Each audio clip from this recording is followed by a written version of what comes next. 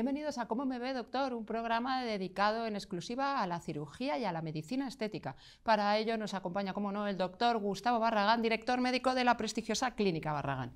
¿Qué tal, doctor? ¿Cómo está? Muy bien. Muy bien. Se acerca el verano y a muchos nos preocupa el tema del cuerpo, porque queremos vernos más guapos, más delgados. ¿Qué cree? ¿Que están aumentando las consultas en torno a ello? Bueno, yo creo que ha aumentado en los últimos años la preocupación por nuestro aspecto estético y por tener un cuerpo eh, sano y no precisamente... Antes era más estacional, sí notábamos más que la gente se preocupaba eh, cuando venía el buen tiempo y empezaba a ponerse ropa más ligera y se lo... Pero no, ahora vemos que es durante todo el año. Javi, si te parece, vamos con el sumario y vamos a ver qué les preocupa. Pues vamos con el sumario, con nuestras secciones habituales, verdadero o falso, eh, nuestras redes sociales que están que echan chispas y saldremos a la calle para ver qué, qué preguntas, qué inquietudes tienen nuestros ciudadanos de a pie.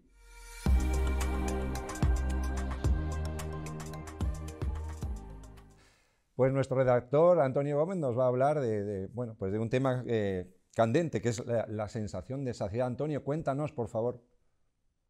Un equipo de investigación del Imperial College de Londres y la Universidad de Glasgow ha desarrollado un compuesto alimenticio que, cuando se mezcla con comidas, promueve una sensación de saciedad y reduce considerablemente el apetito.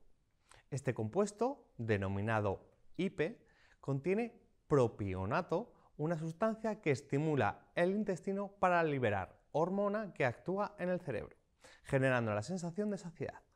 Los resultados del estudio, publicados en Good, la revista oficial de la Sociedad Británica de Gastroenterología, muestran que el IP podría ser útil en la lucha contra la obesidad y el sobrepeso. El equipo de científicos primero realizó experimentos en animales y luego en humanos. En el estudio con humanos, 20 participantes fueron divididos en dos grupos. Uno recibió IP y el otro insulina. Y luego se los ofreció un buffet libre y los resultados mostraron que aquellos que consumieron IP comieron un promedio del 14% menos que los demás participantes y también mostraron un aumento en la hormona que reduce el apetito en su sangre. El valor añadido de este nuevo ingrediente en las comidas radica en su capacidad para suministrar al organismo cantidades significativas de propionato, superiores a las que se obtienen con una dieta normal.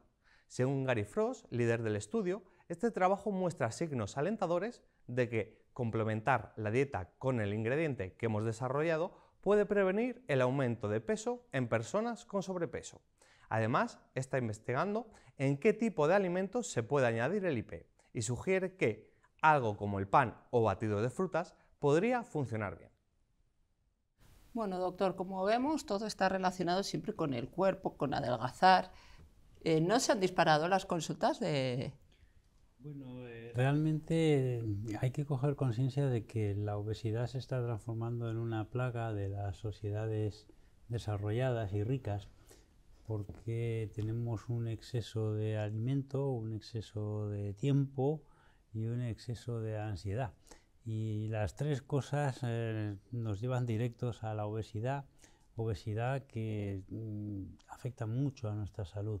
Por eso la medicina se está centrando mucho en el control de la misma y afortunadamente están desarrollándose eh, técnicas y medicaciones que eh, están ayudando muchísimo. Realmente se ha abierto un campo nuevo de la medicina. En, realidad no es un campo nuevo porque se lleva trabajando en ello mucho tiempo, pero sí que de golpe eh, se han alumbrado un montón de terapias que se están mostrando muy efectivas eh, para eh, controlar esta plaga que, en la que se ha constituido, que es la obesidad.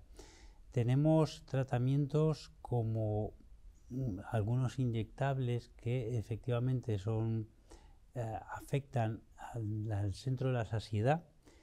En el estómago hay unos receptores, receptores de presión, que cuando el estómago está lleno le dicen al cerebro, oye, no coman más, que ya estoy, ya estoy lleno. Y algunos estimulan estos receptores, otros son hormonas que se liberan también produciendo sensación de saciedad y eliminando, digamos, el instinto de, alimentarnos, de comer. Y estos son muy efectivos, eh, muy famosos algunos medicamentos como el Ozempic u otros que se han desarrollado en principio para el control de la diabetes, pero se ha visto que tienen este efecto de producir saciedad y disminuir la ingesta. Hay tratamientos que técnicas de reducción de estómago que han desarrollado unos avances tremendos, que haciendo la operación muchísimo más sencilla, con menos complicaciones, menos riesgos y más efectividad. Y estas no solo consiguen reducir el tamaño del estómago y con ello, eh, pues evidentemente hacer que comamos menos porque tenemos el estómago más pequeño, sino que el propio estómago, en las paredes se producen eh, hormonas que nos hacen mm, tener más ganas de comer y alimentarnos más. Entonces, al seccionar esa parte del estómago, vamos a tener menos ganas de comer, aparte de tener el estómago más pequeño y saciarnos antes. Y todas estas técnicas realmente eh, nos abren un futuro que esperamos muy esperanzador, porque eh, pensamos que vamos a poder corregir este, esta plaga. Luego, cuando la gente ha tenido un exceso de peso importante y gracias a estas técnicas pues es capaz de perderlo, eh, vienen otras, otras secuelas que son pues toda esa piel distendida pues que se va a caer. Entonces vienen a nosotros para que se lo arreglemos. Y ahí es donde entramos con los tratamientos para tensar la piel, para quitar el exceso de piel. A veces hay acúmulos de grasa que no son obesidad, que son lo que nosotros llamamos lipodistrofias, que son acúmulos desproporcionados de grasa, digamos zonas del cuerpo donde la grasa se acumula de forma desproporcionada con relación a otra parte del cuerpo. Ahí la liposucción es el tratamiento estrella, porque vas a quitar esa grasa de ahí, vas a modelar la figura y no va a volver, porque has quitado esas células, esa tendencia a que la grasa se acumule ahí. Esos son los buenos casos de liposucción. Cuando a mí me viene una paciente que dice, que quiere hacerse una liposucción y lo que está es obesa y que tiene exceso de grasa por todos lados, se lo desaconsejo. No es un buen caso porque la liposucción no es una vacuna contra la obesidad, no es un tratamiento para la obesidad. Es un tratamiento muy bueno para remodelar la figura y quitar esos acúmulos de grasa localizados que nos van a deformar una cartuchera, la cara interna de las ingles, eh, la cadera, la cintura. Para esos casos es extraordinario y los resultados son muy buenos. Pero cuando estás gordita por todos lados, lo de hágame una liposucción de la casa, eso no funciona. Pero eso hay, hay muchos casos, ¿no? Bueno, pero para eso estamos nosotros, para explicárselo al paciente y decirle, mira, no es un caso para hacer esto porque no te va a dar buen resultado y derivarles a otro especialista que le va a tratar bien con estos inyectables, bien con una reducción de estómago, bien con lo que haga falta y nosotros lo derivamos. No, todos los pacientes que vienen a la consulta son susceptibles de ser tratados por mí. Hay muchos pacientes que les tengo que explicar que lo que ellos quieren no lo puedo hacer yo, pero se puede conseguir de otra manera. Ha dicho cuando me viene una paciente, ¿suele ser más, eh, suele darse más el caso en mujeres que en hombres? Sí, eh, realmente ha subido muchísimo el número de, pacientes masculinos que tenemos, pero sigue predominando el paciente femenino. Digamos que muchas veces la gente dice, no, que ha cambiado la persona, digo, sí, ha cambiado antes nosotros teníamos un 95% de mujeres y un 5% de hombres y ahora tenemos un 75% de mujeres y un 25% de hombres. Digamos que sí, que ha subido mucho el, volumen de, pacientes masculinos que, se tratan, pero sigue siendo predominante el femenino.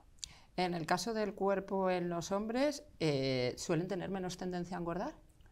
No, los hombres tienen las mismas tendencias que las mujeres. Pero Me alegro saberlo. Una distribución diferente. Hmm. Generalmente la mujer tiene lo que se llama la disposición ginecoide del tejido graso, que eh, suele tender a ser en los muslos. Generalmente las mujeres acumulan mucha grasa en los muslos, por eso las famosas cartucheras, los mulos amplios. Sin embargo, los hombres no. Los hombres es muy raro que acumulen grasa en los muslos. La suelen acumular en la zona de la cadera, la cintura, el abdomen. Digamos, el famoso flotador. Sí. Son tendencias. A veces hay hombres que la acumulan en los muslos, pero no es lo habitual. Lo habitual es que el hombre lo acumule lo que es en la zona de cintura, caderas y abdomen en general, y la mujer más en la zona de los muslos. Pero también hay mujeres que lo acumulan en la cintura y en el abdomen. Esto, digamos, son generalidades, pero luego eh, hay excepciones. Y en este caso de hombres así que tienen la, llamada barriga cervecera, ¿qué solución hay? Bueno, hay que distinguir muy bien si lo que tienen es un acúmulo de grasa eh, extra em, abdominal, lo que es debajo de la piel, que se puede tratar muy bien con una liposucción base o con una abdominoplastia, dependiendo de que tengan flacidez y los tejidos se caigan o no, de lo que es un aumento del volumen intraabdominal, por dentro de los músculos abdominales. En ese caso no puede ser tratado de esta manera y no quedará más remedio que recurrir a las dietas o a una reducción de estómago o a un tratamiento mm, ayudado, una dieta ayudada con estos eh, productos químicos nuevos que hacen que, que, comamos menos. Porque si el acúmulo que tenemos es porque tenemos el estómago muy grande, las vísceras distendidas, pues has dicho tú la tripa cervecera. Es típico, cuando beben mucho, mucho litro de cerveza, el estómago es enorme. Y se produce una distensión abdominal, pero es una distensión por dentro de los músculos abdominales. Yo eso no lo puedo operar. Eso, como digo, tiene que ser o por dieta estricta o bien ya ir a una reducción de estómago. Pues seguimos con el programa.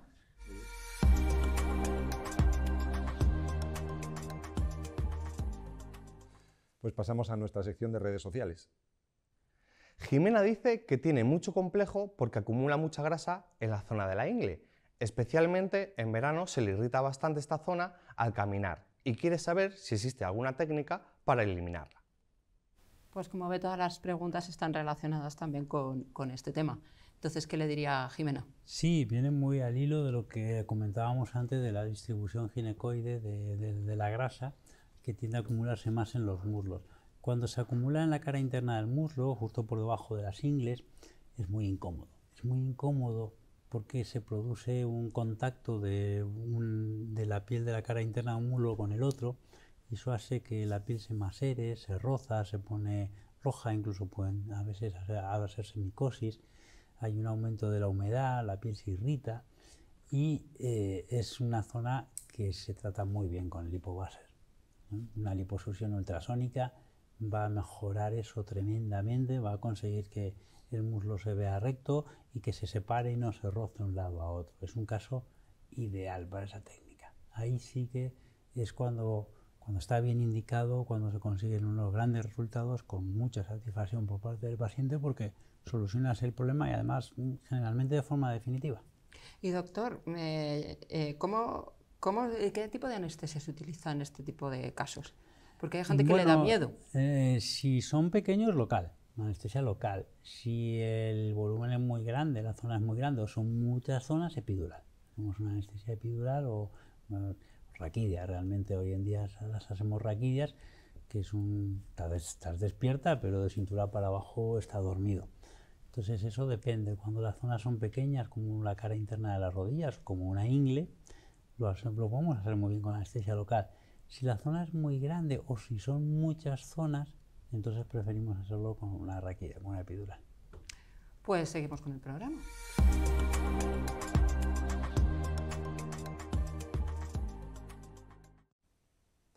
Pues vamos a dar paso a las preguntas de la calle. Sí, sí, sí, me gusta cuidarme, sí. Me suelo echar crema antiedad cada vez que me ducho. Y, y sobre todo intento eh, controlar la dieta y hacer ejercicio. Pues me parece que, que está muy bien siempre que no se note. Me da un poco de miedo. Me da un poco de miedo porque muchas veces el resultado no sabes cómo, cómo va a estar. Si, si, me aseguraran un resultado y me aseguraran que no, que no se va a notar, entonces sí. De la cara me da, me da un poco de miedo porque no, no quiero que me, que me, me cambien nada de los rasgos nada del cuerpo. Bien, doctor, esta preocupación, eh, bueno, esto le preocupa a mucha gente. ¿Qué, es eso de cambiar? ¿Cree que realmente eh, cambiamos y es Algo tenemos que cambiar, porque para quedarnos igual, pues no nos operamos, evidentemente. Pero sí, está muy bien encaminado él cuando dice que le preocupa que no se note. Eh, he tenido casos de pacientes que le operas de una blefaroplastia, le quitas centímetro y medio de piel de ancho, una parte muy importante, y a veces me dicen, pero nadie me lo ha notado, digo ya, porque estás bien operada. Porque cuando estás bien operada no te lo tiene que notar nadie. Las operaciones no se tienen que notar. Evidentemente, tú tienes que notar una mejoría importante, pero la gente que no te conozca o la que te conozca no tiene que notar que te has hecho una operación. Las operaciones bien hechas no tienen que notarse, efectivamente. Eso es fundamental. Para eso, pues nosotros tomamos nuestras precauciones, poner las cicatrices escondidas en zonas donde no se vea, no producir nunca un exceso de, resección para producir una tensión exagerada que nos deforme los rasgos o que nos impida, en el caso de la blefaroplastia, cerrar correctamente el ojo. Todas esas cosas son cosas que el médico con experiencia pues las sabe. Pero efectivamente, yo siempre lo digo, una operación bien hecha no se nota no debe notarse. Eso es fundamental. Eh, las cremas antiedad desgraciadamente no existen. Ojalá existiesen, yo me las estaría echando constantemente. Pero no hay ninguna crema que nos pueda quitar edad. Lo que sí es verdad que hay muchas, es muy importante eh, que las cremas nos hidraten bien la piel porque la deshidratación daña mucho la piel.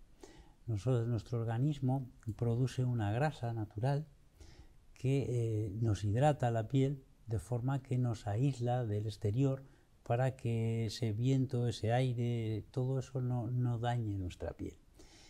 Nosotros como hoy en día pues hemos eh, cogido la costumbre de, lavarnos todos los días con jabones que van a quitar esa grasa natural, esa hidratación que produce nuestro cuerpo, tenemos que reemplazarla con las cremas. Digamos que si no nos duchásemos no necesitaríamos tanto eh, eh, esas cremas para hidratarnos, pero como queremos ir limpitos y no oler mal y nos vamos a duchar, tenemos que usar esas cremas para dar esa hidratación que hemos quitado con los jabones cuando nos, cuando nos bañamos. Entonces eso es, importante. Yo sé que a veces eh, vivimos con muchas prisas y te duchas y sales corriendo, pero es importante hidratar el cuerpo porque si no luego se reseca la piel y la piel seca envejece más, luego produce picores, molestias. Entonces eso hay que tomarnos nuestro tiempo y tomar esos cuidados para recuperar esa hidratación que tendríamos de forma natural, pero que hemos perdido por el exceso de aseo o a veces también por el envejecimiento. Cuando envejecemos ya no fabricamos esa grasita de, la misma manera. ¿Y qué opina de estos cosméticos bebibles que se comercializan en las farmacias? Eh, bueno, yo soy muy escéptico en esos temas porque muchas veces la gente no sabe cómo funciona el organismo. cuando comes, cuando tomas un alimento, mm. eh, ese alimento no pasa a la sangre y se va a la piel y se coloca ahí donde hace falta. Eso no funciona así. El, estómago lo va a romper, lo va a deshacer para que tú absorbas los principios básicos y luego con ellos tu cuerpo hace lo que el cuerpo precisa o quiere. Pero realmente da igual que tú tomes ácido hialurónico, no vas a absorberlo puro y se va a ir a eh, pasar a la sangre y llegar a la piel y ponerse donde tú quieres. Realmente los ácidos del estómago y todo lo va a digerir, lo va a partir, lo va a trocear, lo va a transformar en otra cosa y con esa cosa el cuerpo luego va a fabricar, si hace falta cartílago, a la gente que toma cartílago, de tiburón, el cartílago no va a viajar de tu estómago a tu articulación y no va a reponer el cartílago.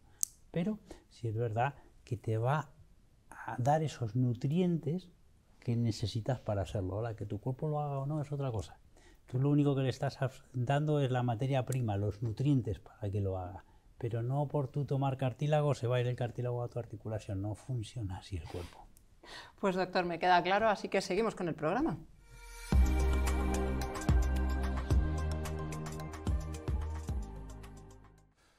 Bueno, que volvemos a conectar con Antonio Gómez, nuestro reportero, para hablar de redes sociales. Antonio.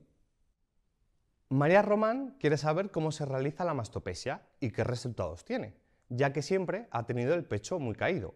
Además pregunta cuánto tiempo duran los efectos de una elevación de pecho y si se caen otra vez después de unos años.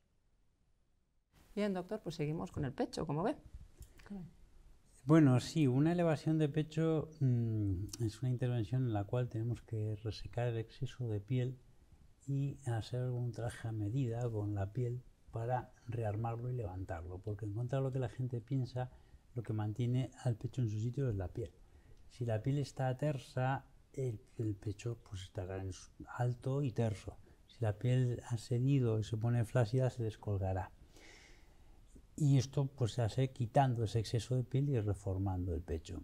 La gente que tiene una piel de, digamos, muy débil, que se estira con mucha facilidad, sí que con el tiempo se le volverá a caer.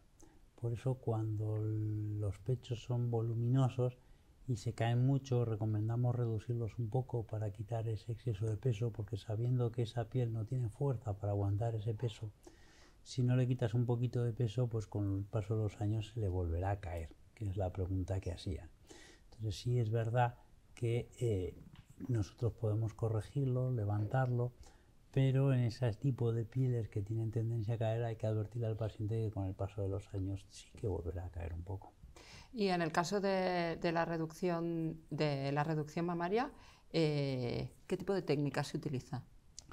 Eh, básicamente es la misma que una apexia mamaria, lo que pasa es que además de quitar el exceso de piel hacer un traje con la piel que queda, vamos a quitar parte de grasa y de glándula mamaria. No quitamos solo el exceso de piel, sino también el exceso de tejido. Con lo cual, ahí sí que vamos a disminuir mucho el peso y vamos a quitar esa tendencia a caerse. Cuando tú le quitas peso, pues la piel sufre menos y entonces tiende menos a caerse. ¿Existen muchos casos de reducción mamaria o, ca- o cada vez se van incrementando? Eh, bueno, eh, sigue siendo predominante el aumento, digamos que es, es mucho más frecuente las mujeres que quieren aumentar el tamaño de su pecho que las que lo quieren reducir, pero evidentemente pues la que lo tiene muy grande no solo es estéticamente porque se caen y se estropean, sino que es molesto, es molesto para nuestra actividad diaria, duele la espalda, se clava el sujetador en el hombro.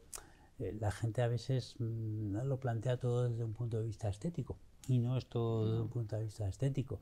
Nos molesta para hacer deporte, para hacer nuestra vida diaria. Entonces eh, es una cosa que a las personas que tienen el pecho muy muy grande les produce mu- muchos problemas. Y luego, estéticamente, realmente las mujeres que a lo mejor tienen mucho pecho puede parecer que tienen exceso de peso, cuando en realidad puede ser que estén delgadas en el resto del cuerpo. Sí, en el, en el pecho em, tenemos tejido mamario y tenemos grasa. A veces eh, es por acúmulo de grasa, porque tenemos un poquito de exceso de peso, y otras veces es glándula pura, que tenemos la glándula mamaria muy grande. ¿Cuánto dura esta operación y qué cuidados tenemos que tener después? Bueno, es una operación que tardamos bastante en hacerla porque eh, tardamos mucho en coser. Hay que hacer una sutura muy delicada para que las cicatrices se noten lo menos posible dentro de las posibilidades genéticas de cada paciente. Y luego además como son dos pechos, pues es el doble de trabajo, porque primero tienes que hacer uno y, luego el otro, con lo cual sí, nos lleva bastante tiempo hacerlo. El posoperatorio no es doloroso, molesta un poco, pero no es doloroso y nos podemos reincorporar a nuestra vida laboral normal, salvo que tengamos un trabajo que demande esfuerzos físicos grandes en muy poquito tiempo, en 3-4 días. Y en el caso de la operación de aumento de pecho, eso es una operación que realmente es mucho menos laboriosa. Mucho más sencilla, más rápida. sí. Pues doctor, hasta aquí nuestro programa de hoy. Javi, ¿qué preguntas tienes? ¿Qué inquietudes? Eh, bueno, pues es que ha sido súper interesante el tema del cuerpo, el tema de, eh, el del pecho, bueno, pues no, por lo que nos toca en, en cuanto a, a- a la estética de la mujer, pues es maravilloso. No sé si es muy complicado hacer un pecho y luego hacer el otro exactamente igual. ¿Qué complicación tiene eso? Eh, bueno, es imposible hacerlos exactamente iguales. pregunta. Eso es una cosa que siempre suelo explicar a los pacientes. Eh, esta mañana he operado una reducción mamaria y la paciente tenía un pecho más grande que otro. Evidentemente, pues en el que era más grande eh, hemos reducido más cantidad para intentar igualarlos, pero se le explica que, que nunca son exactamente iguales. Serán más parecidos, no habrá tanta diferencia como había antes de operarse, pero siempre el que era mucho más grande pues tiene una base mayor y nunca va a ser exactamente igual que el otro. Digamos que cada pecho tiene su idiosincrasia. Exacto. Pues doctor, muchas gracias. Yo me quedo con la importancia de hidratarse y cuidarse y espero verle en el próximo programa. Encantado. Y a todos ustedes recordarle que en la Clínica Barragán la primera consulta es gratuita y atendida por los propios doctores, que pueden llamar al 91 300 23 55. Vuelvo a repetir, 91 300 23 55. También pueden consultar su página web clínicabarragán.es.